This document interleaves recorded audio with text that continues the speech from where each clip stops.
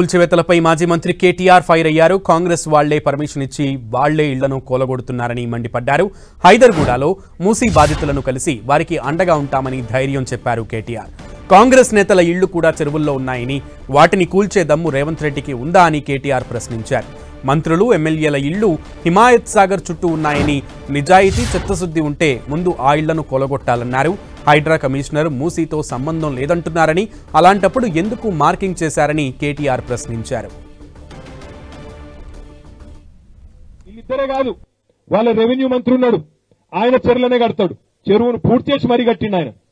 ఆయనదేం కావద్దు. వాళ్ళ ఎమ్మెల్యేలే ఉన్నాయి. వివేక్ అంట ఆయనది కేవీపీ రామచంద్రరావు అంట ఆయనది ఇంకా చాలా మంది పెద్ద పెద్ద కాంగ్రెస్ నాయకులై. అవన్నీ కూడా ఇండ్లు హిమాయత్ సాగర్ చుట్టూ ఉస్మాన్ సాగర్ చుట్టూ ఉన్నాయి. రేవంత్ రెడ్డి నీకు చిత్తశుద్ధి ఉంటే చట్టం ఎవరికి చుట్టం కాకపోతే నీ కాంగ్రెస్ ప్రభుత్వానికి నీ రాహుల్ గాంధీకి కనీసం నిజాయితీ ఉంటే పేదవాళ్ళ ఇండ్లకు వచ్చే ముందు పేదవాళ్ళ ఇంటి దగ్గరకు వచ్చే ముందు మధ్యతరగతి ప్రజలు తమ చెమటతో తమ రక్తంతో మీరిచ్చిన రిజిస్ట్రేషన్లు మీరిచ్చిన బిల్డింగ్ పర్మిషన్లు మీరిప్పించిన బ్యాంక్ లోన్లు మీ గవర్నమెంట్ ఆనాడు గతంలో కాంగ్రెస్ గవర్నమెంట్ ఉన్నప్పుడే తీసుకున్న లోన్లు తీసుకున్న రిజిస్ట్రేషన్లు వాటి ఆధారంగా ఇవాళ వాళ్ళకు జీవితంలో ఒక ఇల్లు అంటే ఒక ఇమోషన్ అందరికీ.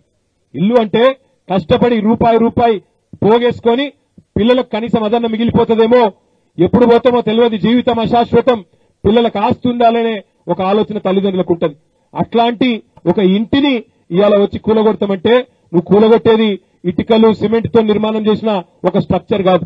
నువ్వు కూలగొట్టేది ఆ జీవితం ఆ కుటుంబం యొక్క ఆశ ఆకాంక్ష ఆ కుటుంబం ఎన్నో కళలు అల్లుకొని ఉంటది ఆ ఇంటి చుట్టూ. అవన్నీ కూలగొడతావంటే చూస్తూ ఊరుకోము. తప్పకుండా నేను మీకు మాటిస్తా ఉన్నా. ఇలా హైకోర్టు కూడా గట్టిగా వాయించి ఇడిచిపెట్టింది ఎట్లా చేస్తారా మీరు అని చెప్పి. కానీ హైకోర్టును కూడా ఆయన మోసం చేస్తా ఉన్నాడు. రేవంత్ రెడ్డి హైకోర్టును కూడా మోసం చేస్తున్నాడు. ఇలా స్టేట్మెంట్ ఇచ్చిండు హైడ్రా కమిషనర్ సిగ్గు లేకుండా. ఏమని? మాకు మూసీతో మాకు సంబంధం లేదట. మరి మూసీతో సంబంధం లేకపోతే పీకనీకి చేస్తుర్రా మార్కింగ్లన్నీ? ఎర్ర మార్కింగ్ నీలం రంగు మార్కింగ్?